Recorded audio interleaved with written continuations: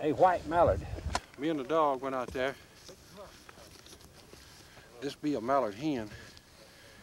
I want you to notice the color of this duck. Blonde mallard hen. Blonde.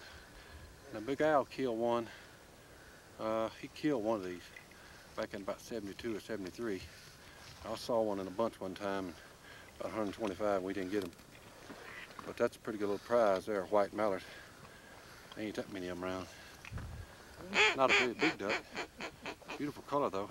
Notice there's no color pigment on the wings. And another white one. Is it? Oh yeah. hey, hey, I'm pretty, hey, I'm pretty sure. Y'all, look. that's, that's my first white mallard in my 52 years, so this one we won't eat.